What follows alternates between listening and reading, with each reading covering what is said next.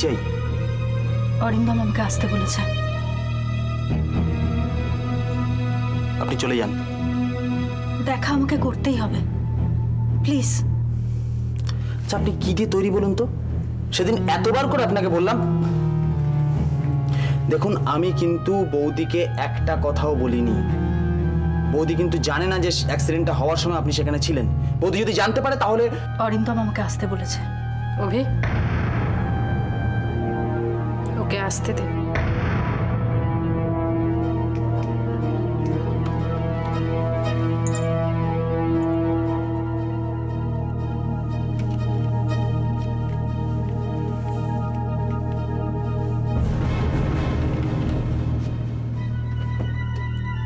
তাহলে মিস রাখি? তুমি ছিলে ওর সাথে।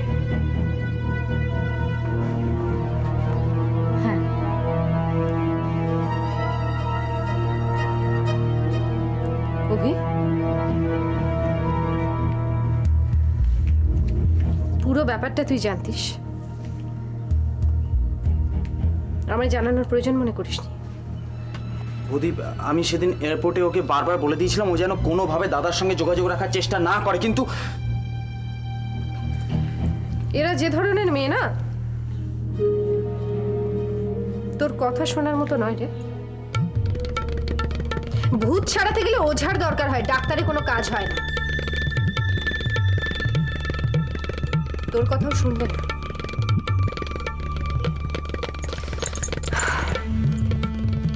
তাহলে?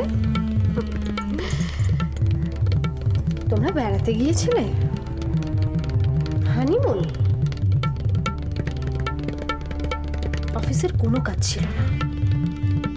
তাই না প্রদীপ এই কথাগুলো আমি কিন্তু এই কারণেই তোমাকে বলিনি। কারণ আমি চাই না যে বাড়িতে কোনো সিনক্রেট হোক।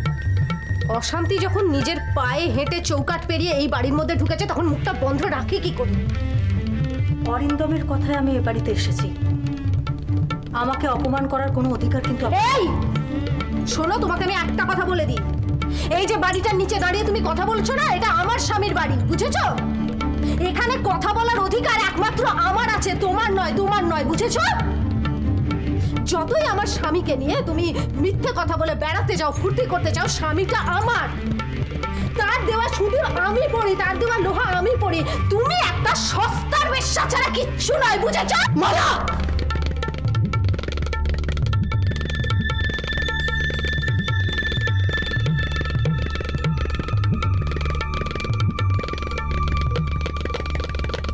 ব্যাস ব্যাস এনাফ এবার এই নোংরামিটা বন্ধ হোক। যদি মেয়ে নয় একটা ছেলে হতে না? তাহলে আমার মায়ের মতো বৌদির গালে চর মারতে গেছিলে যে হাতটা দিয়ে? সেটা আমি ভেঙে গুড়িয়ে দিতাম। অভিষেক রাখির হাত ছেড়ে দাও। ছেড়ে দাও!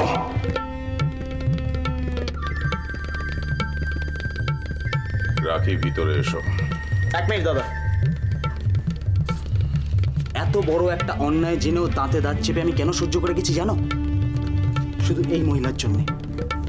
আমি বাড়িতে এসে রাখির কথা বলিনি, শুধু বৌদি কষ্ট পাবে ভেবে। সেই রাখিকে তুমি বাড়িতে ডেকে আনলে? ছি! বৌদির জন্য যে তোর মন কাঁদে, সেটা আমি জানি। তোদের মান অভিমানের ব্যাপারটা আমার কাছে অজানা নয়। একটা কথা ছোটবেলায় পড়েছিলিস। কোথায় তোর মনে নেই? কাঁচের বাড়িতে থেকে অন্যের ঘরে ডিল ছোঁড়া উচিত নয়। রাখি, ভিতরে এসো। তোমার কোনো ভয় নেই। এই বাড়িটা আমার। এই বাড়িতে আমি যেটা বলব শুধু সেটাই হবে। না! আমার প্রাণ থাকতে আমি ওই ঘরে ওকে যেতে দেব না। এটা আমার বাড়ি। আর আমার কাছে আমার বাড়িটা একটা মন্দির। সেই মন্দিরের মধ্যে কেউ কাদা পায়ে ঢুকবে, আমি সেটা মেনে নেব না। অভি আমার ভাই, আমার দুঃখের দিনের সাথী।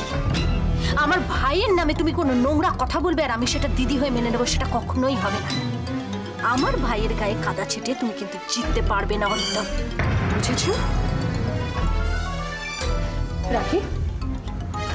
চলে যাও। যাও আরো সাংঘাতিক কিছু ঘটে যাওয়ার আগে এই বাড়ি থেকে চলে যাও যাও বলছি তাও যাবে না রাখি যাবে যাবে না রাখি যাবে how dare you Arindam Arindam And with it, Sachin had hit a four! Yeah! Sachin ने चौका मारा और उसके साथ भारत का हुआ 410 अब सहवाग को बॉल करने आ रहा है सहवाग अख्तर यस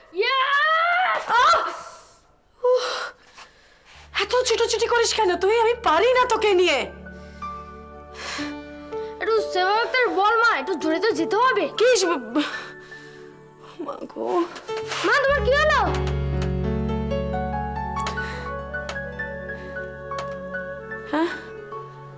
কিছু হয়নি আমাকে একটু জল দে তো। মাথাটা ঘুরে গেল। সাতটা বেজে গেছে এখনও লোকটার আসার নাম নেই। জলটা দে না।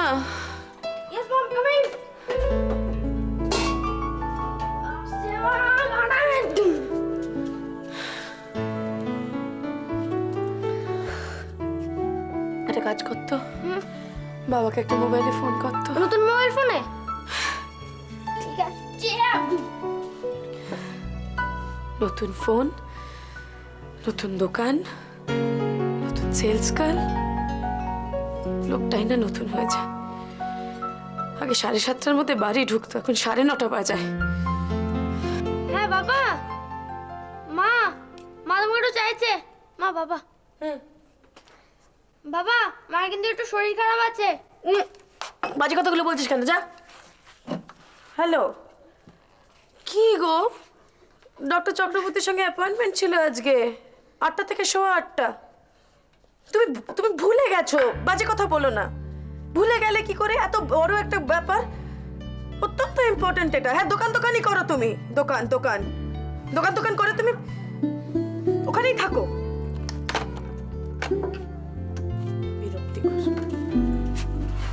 সবটাই আমার দায়িত্ব।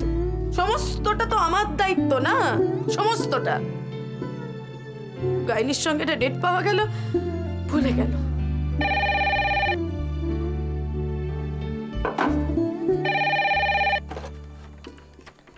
হ্যালো বাবা! মাকে চাই মা? বাবা তোমাকে চাইছে আমি কথা বলব না বলে দে। হ্যালো বাবা! মা বলছে কথা বলব না। হ্যাঁ? ঠিক আছে। ঠিক আছে। মা বাবা বলছে ডাক্তারবাবুর সঙ্গে কথা হয়ে গেছে। তোমাকে পরশুদিন যেতে হবে। তোমাকে চিন্তা করতে একদম মানা করছে। আর বলছে মেহু না? এই ঢং করতে বারণ কর তোর বাবাকে। ঢং যত। জিজ্ঞেস কর কখন ফিরছে। হ্যালো বাবা কখন ফিরছো? হ্যাঁ? ঠিক আছে। বলছে একটু দেরি হবে। হ্যালো? না মা কিছু বলছে না। রাখছি হ্যাঁ? রেখে দিলি? কি করব? বাবাই তো ফোনটা কেটে দিল। আমায় চাইলো না কই না তো ইয়ো। রাখ! চার! ছয়! তিন! চার! গৌরব আর একবার যদি পেটে হাত দিয়েছ না পেট আমি ভেঙে দেবো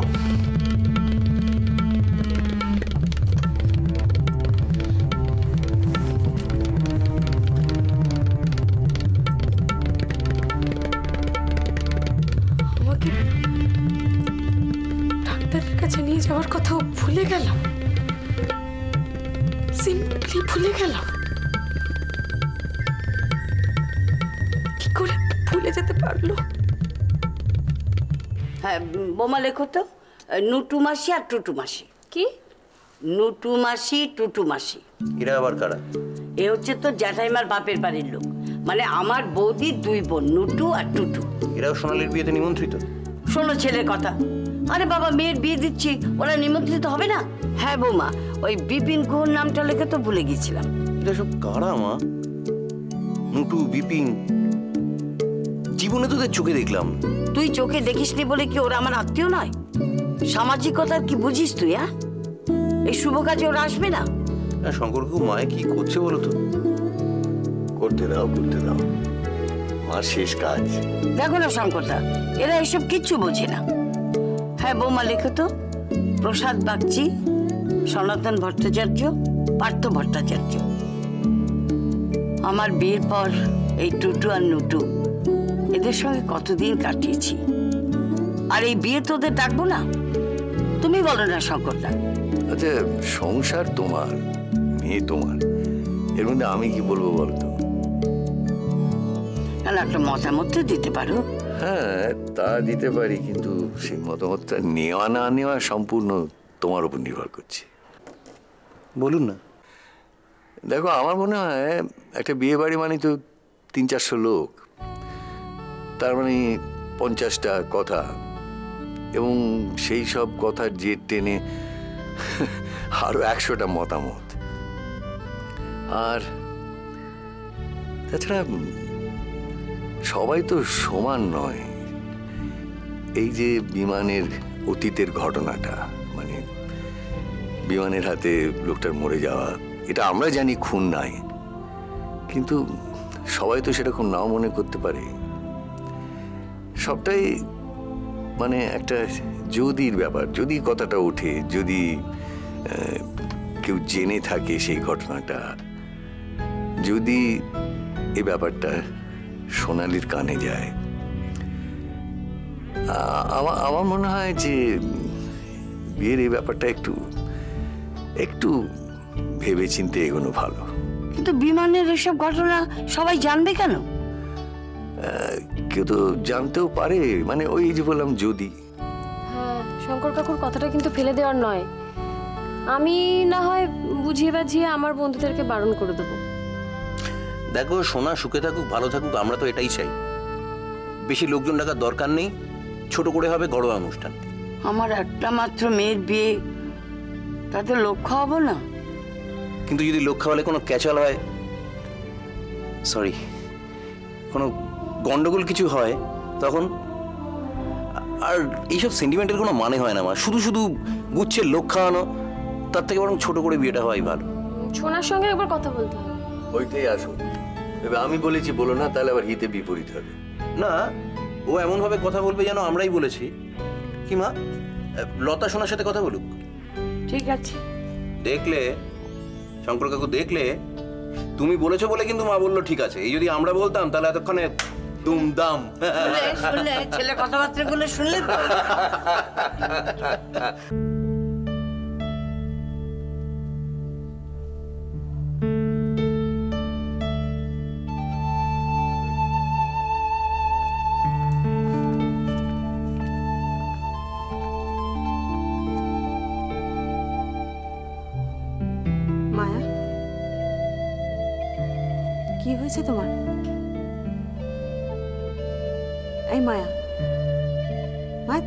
আছো কেন? মায়া তুমি এত বড় একটা কাণ্ড ঘটালে। আমাকে কিন্তু এখনও বলনি কি হয়েছে তোমার। এই কথা বলো। আশ্চর্য তো টেনশনে আমার মাথা খারাপ হয়ে যাচ্ছে।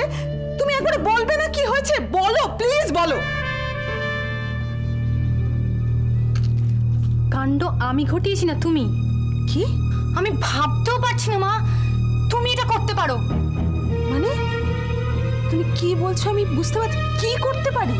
অভিক স্যারের কাছে আমাকে অঙ্ক করতে কেন পাঠিয়েছিলে সেটা আমি খুব ভালো করে বুঝে গেছি বুঝে গেছি আমি। মানে? মানেটা কি আরও পরিষ্কার করে বলতে হবে? এই শোন ওরকম বাঁকা বাঁকা কথা বলবি না। যা বলার হয় সোজাসুজি বল। অভিক স্যারের সঙ্গে প্রেম করবে বলে? মায়া! কি বলছিস কি তুই এসব? হ্যাঁ? তুমি জানতে না অভিক স্যারকে আমি পছন্দ করি। তুমি তা সত্ত্বেও এগুলো ইচ্ছে করে করেছ। কি প্রমাণ করতে চাইছিলে তুমি? তুমি আমার চেয়ে বেশি সুন্দর কি কি বলছিস কি তুই? আমি আমি কিচ্ছু বুঝতে পারছি তুমি জানতে না? লাভ মেল মেলগুলো তোমাকে অভিক স্যার পাঠাতো? আমি আমি আমি সত্যি আমি জানি তুমি আমাকে অভিক স্যারের কাছে কেন পড়তে পাঠিয়েছিলে। যাতে তুমি অভিক স্যারের সঙ্গে আরও বেশি করে কথা বলতে পারো। মায়া, এসব কি বলছিস তুই হ্যাঁ? তুই অভিক স্যারের জন্য হাত কাটলি আর আমাদের কথাটা ভাবলি না তুই একবার হ্যাঁ? মায়া মায়া, তুই বিশ্বাস কর?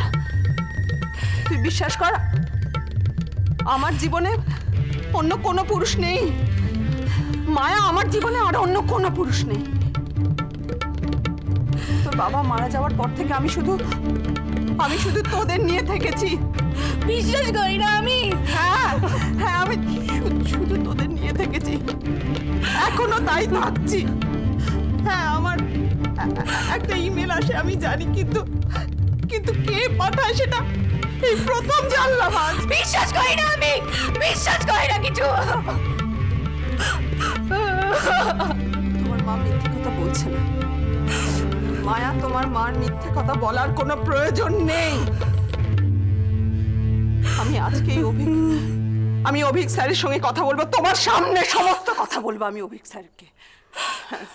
আর আরেকটা কথা জেনে রাখো। আমার জীবনে আমার জীবনে তোমার থেকে বড় আর কেউ নেই। আর কেউ নেই মায়া। তোমার থেকে বেশি আমি আর কারুকে ভালোবাসি না। বিশ্বাস করি না আমি কিছু মায়া। মায়া মায়া মরতে হয়। আমি মরব। তুই কেন? তুই কেন, মায়া?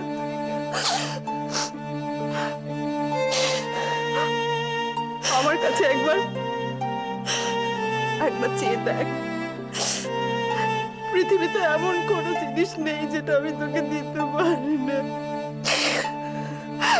কিচ্ছু নেই, মায়া।